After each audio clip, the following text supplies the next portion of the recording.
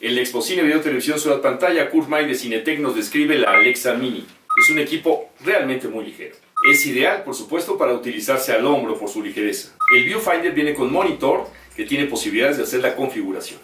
Nosotros somos representantes aquí en México de la empresa ARRI. En este caso tenemos aquí lo que es el concepto este de Alexa Mini. El cuerpo de la cámara es bastante pequeño, con lo cual lo hace muy funcional lo hace muy ligero y lo hace muy fácil de manejar. La cámara está preparada completamente desde con su shoulder pad, aquí para ponerlo directamente en el hombro de eh, la persona que está operando la cámara y tiene todo el sistema aquí para poderla agarrar e inclusive un botón de run stop lo cual nos da la oportunidad de echar a andar la cámara o pararla en el momento que elijamos. Desde el monitor tiene una, una pantalla touchscreen y desde el mismo monitor podemos nosotros operar la cámara para que algún asistente lo pueda realizar no necesariamente estando operando la cámara directamente. Podemos cambiar, tiene una serie de funciones y podemos cambiar, programar la cámara o ver la data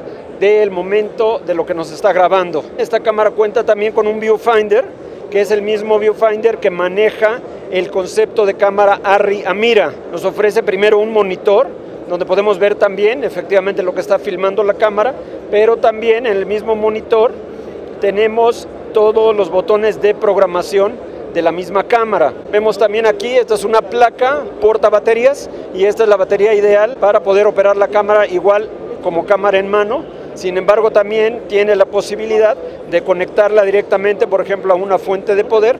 No es necesario estar cargando con una pila portátil. Se le puede poner lo que es el sistema de soporte para que la cámara se pueda poner encima de un tripié, encima de una cabeza hidráulica, encima de un tripié y se pueda manejar como una cámara de estudio completamente normal. En este momento está utilizando un lente tipo anamórfico. Tiene un sensor de la dimensión de 4x3, por lo tanto nos da 100% la capacidad de filmar en modo anamórfico. Arri también nos está ofreciendo ya un control remoto para poder operar las tres variables, eh, realmente con tres motores, y podemos operar lo que es zoom, iris y foco de una manera muy sencilla y muy precisa. Estamos controlando vía remota lo que es el zoom y lo que es el foco.